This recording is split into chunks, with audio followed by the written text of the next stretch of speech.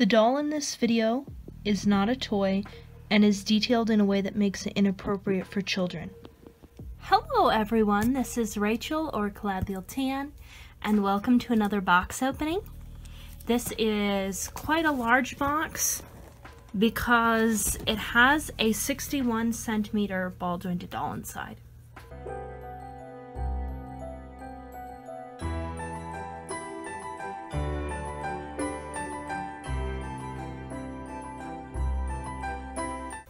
This is a doll I purchased on eBay. It's a Mirodoll body. Um, I have one Mirodoll body already. It's a one quarter scale one. This one is one third scale. And it popped up for a really good price.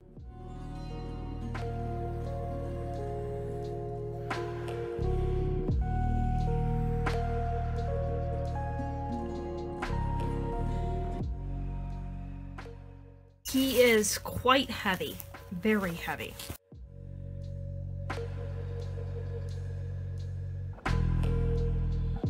I'm not sure how much it's getting across in the video, but this is big. This is really big.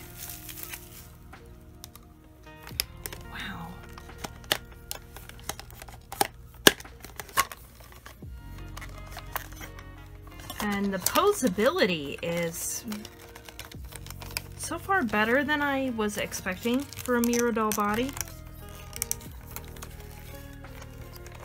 You have double jointing, although it does seem to want to. It has a little bit of a hard time engaging the lower half. You have a rotational joint here. And over here, same thing, but he can sit cross-legged which is wild. And we have double jointing in the arms as well. Um, he seems like the kind of doll that could benefit from a little bit of sueding, just to help him hold poses. But I'm I'm impressed.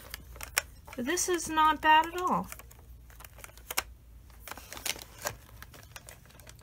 This is the new boy body, by the way. I can't even have his whole body in the frame.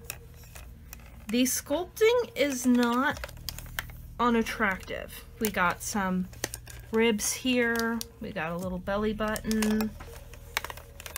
His neck, I think is particularly cool looking. I did not realize how, just how big a one-third scale doll is. Um, I had did have a slim I think it was a Bobobie body that was technically one third, but it was a female body and it was very slim, so it was a lot smaller than this. Wow. Interesting. I just, I just got, uh, it was an auction, it was a pretty inexpensive price, and I think I was the only bidder. I just got him just out of curiosity. Um, I have a head sitting around that I'd heard was usually too big for one quarter scale, but it's it's going to be way too small for him. But I do have a Doll Chateau Snowborn head that I was expecting would take almost a year to be made. But I got a notification from Alice's Collections about two weeks ago that it's already been shipped.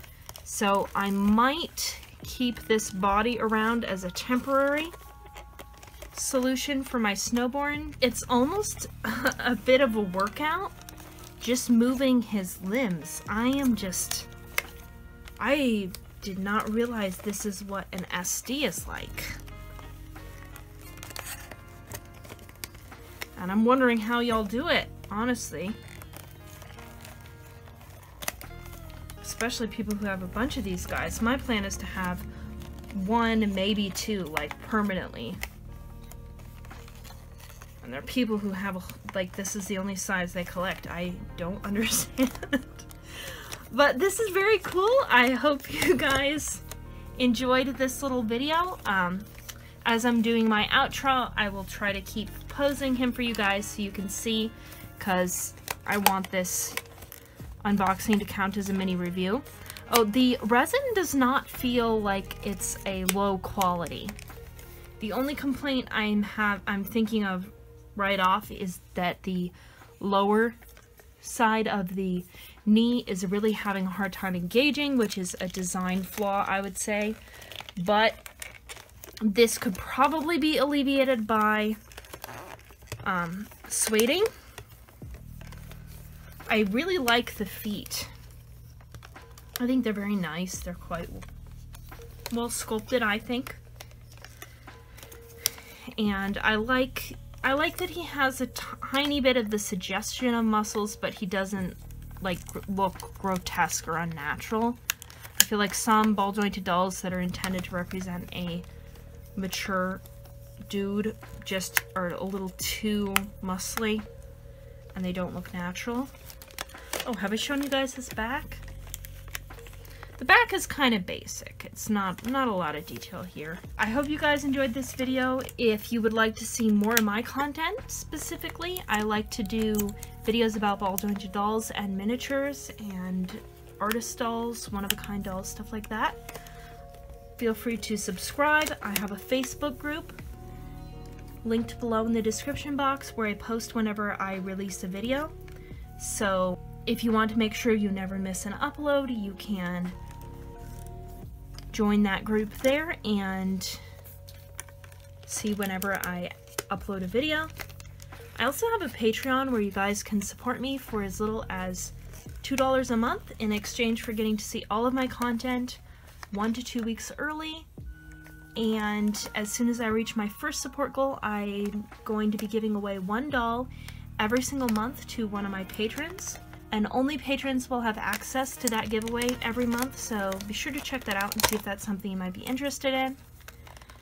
Those who support me on the Fairy Godparent tier on Patreon, in addition to everything I already mentioned, also get a sticker sent to them every single month of one of my dolls, and a shout out in every single YouTube video I make. So shout out to Road to Ehret fan and my anonymous fairy godparents. Thank you so much for your support. Thank you for watching this video, and I hope to see you in the next one. Bye.